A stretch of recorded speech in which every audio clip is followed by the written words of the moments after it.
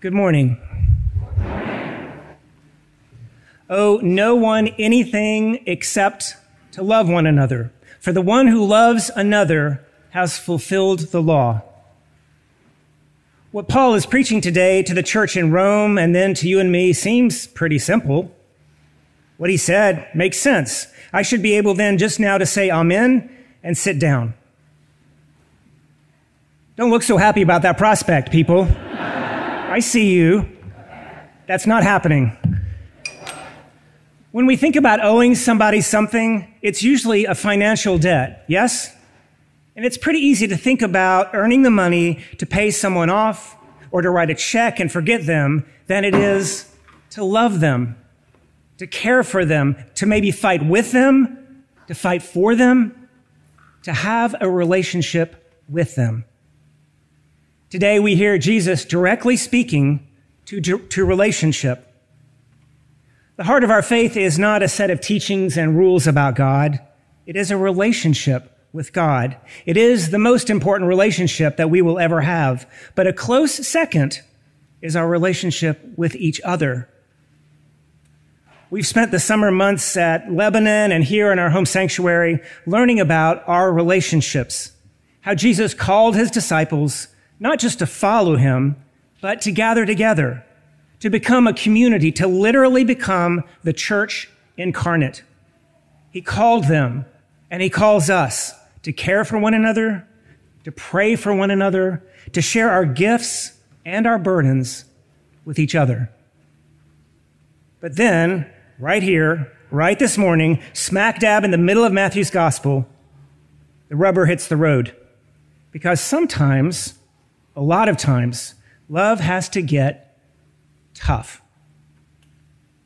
You know, right now, all around the world, churches are gathering together to listen to the same passage, maybe in a different language, with new people, but still, God's church is hearing the same gospel reading on the same day. And I think that's kind of awesome to think about. But unfortunately, even when we are hearing the same good news, people in church disagree argue. Not everyone gets along and sometimes ends up hurting one another through words and actions. Jesus knew this would happen. He knew it would happen to his church because, after all, church is a community of fallible, prideful human beings. That's you and me, of course. I think that's why we get this uncomfortable teaching offered to us today. Jesus offers some advice to all who are in a difficult relationship within the body of the church. He gives us advice and then he makes us a promise. So let's look at his advice. It's a doozy, by the way. It requires bravery, moving out of your comfort zone. It's as simple and complicated as it sounds. Here it is again. If another member of the church sins against you, go and point out the fault when the two of you are alone. The NIV translation speaks to relationship even closer.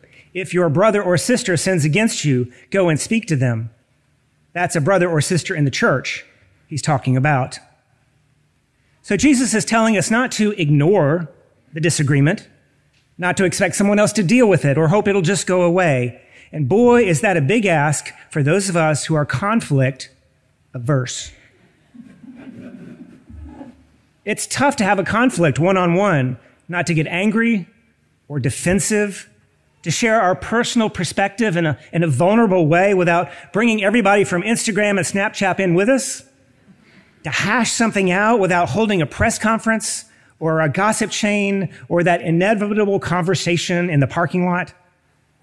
Just imagine, though, my friends, if we did that first step faithfully, what a difference this one little action would make in all of our relationships. But it's not easy. It takes courage, it takes practice, and we know it doesn't always work out. We don't always get resolution. Those are the times to ask for help. Notice this isn't the first step. Bringing others into the issue only happens if conflict continues to exist. But then finally, Jesus tells us there are those times when there is someone so stubborn, someone so unrepentant that the whole community gets involved. And we hear this from Jesus. If the offender refuses to listen even to the church, let such a one be to you as a Gentile and a tax collector. And I know that sounds like Jesus is saying we're supposed to write them off, to forget about them. But let me ask you this. How often do we see Jesus hanging out with the Gentiles and the tax collectors? A bunch. I mean, the author of Matthew's gospel was a tax collector. So I'm thinking it means don't write them off. It means care about them, even when they choose words and they choose actions on their own to separate themselves from church and community. So that's Jesus' advice. Along with that advice, he gives us a couple of important promises today. Truly, I tell you, he says, if two of you agree on earth about anything you ask, it will be done for you by my Father in heaven. That first promise is about agreement. And it's pretty powerful. But Jesus doesn't end with that. And the next promise is pretty remarkable. For where two or three are gathered together in my name, I am there among them. That isn't just about agreement. That's about gathering in Jesus' name. Not just where two or three agree in Jesus' name, but where two or three are gathered in Jesus' name. Presumably, this could include the two who cannot listen to each other about a matter of sin or how to handle it or a disagreement. Even there, perhaps especially there, Christ Jesus is present. Now, most of you know this about me at this point. Sometimes I speak kind of simply. Maybe I'm a little goofy even. But I do like a good prop, a visual, if you will, to help me understand. So I went to our attic this week and I found this to help us think about our lesson.